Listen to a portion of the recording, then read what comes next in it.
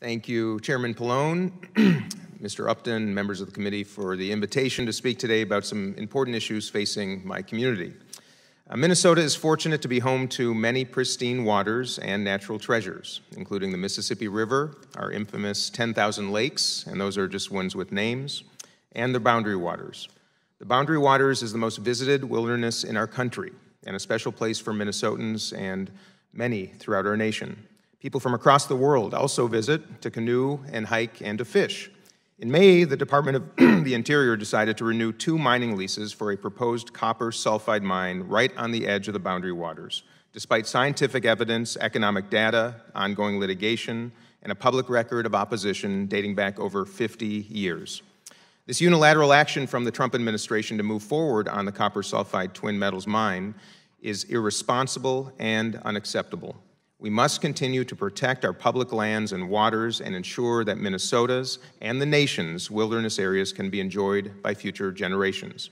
Minnesota's 3rd District is home to one of the most visited lakes in our state, Lake Minnetonka, made famous by Prince's movie Purple Rain. I'm sure that's the first time that's been uttered in this room. Right now, Lake Minnetonka and the rest of our state's waters face the grave threat of aquatic invasive species, something to which my colleague from Wisconsin referred to just moments ago. Aquatic invasive species include Asian carp, spiny water fleas, and zebra mussels, none of them native to Minnesota, and all of which cause major harm to our water's ecosystems. These species have been moving throughout Minnesota, clogging our lakes and rivers, and killing off native animals and plants. Life in our district revolves around these lakes, so this problem is of grave concern to our community. In June, I convened a roundtable of local experts to discuss the threat posed by these invasive species, and the consensus was very clear. Congress must invest resources and support state and local governments to prevent the further spread of invasive species in our lakes and our rivers. And unfortunately, the problem of aquatic invasive species is exacerbated by our changing climate. Invasive species can now live in waterways ways that were uninhabitable just a few decades ago, while native species are struggling to adapt fast enough to compete with them. Climate change is right in our backyards, and it is time to act.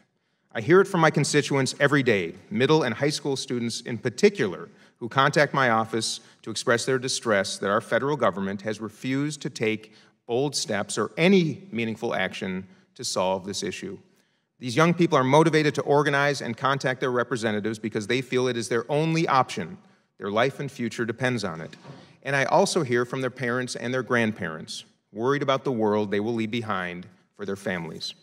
Climate change is complex and requires a multi pronged approach. We need to consider solutions and policies like federal support for research and development of renewable energy, extending and supporting new tax credits for renewables, supporting consumer purchase of electric vehicles, and other thoughtful proposals.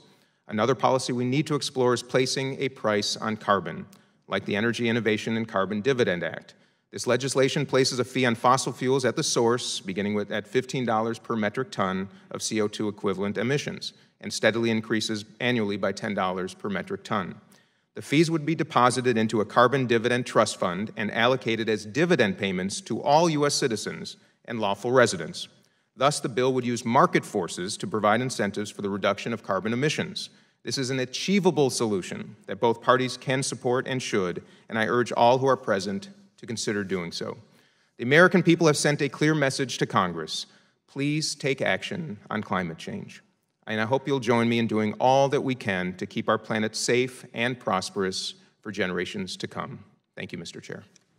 Thank you. And I, did want to mention that just this week, uh, myself, Mr. Tonko, and um, Mr. Rush, we had uh, we had we made an announcement earlier this week um, that we were going to try to uh, achieve a goal of um, 100%, uh, you know, I guess I'll say carbon neutral by 2050, and that we were going to begin a series of hearings, uh, which actually started yesterday in Mr. Tonko, the Environment and Climate Change Subcommittee, uh, to see what legislative proposals uh, that we have before the committee or others, with the idea that by the end of the year, if not sooner, we would come up with legislation, you know, sort of a climate action plan, if you will, uh, that we would then try to sell to the rest of not only Democrats, but Republicans as well. So we certainly want to look at your proposal in the context of that, and Thank we will.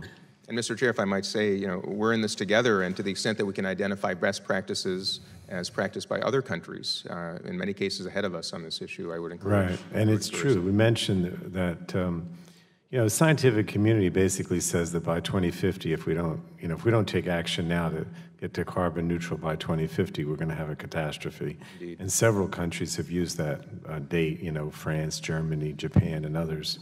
Uh, Did you want to?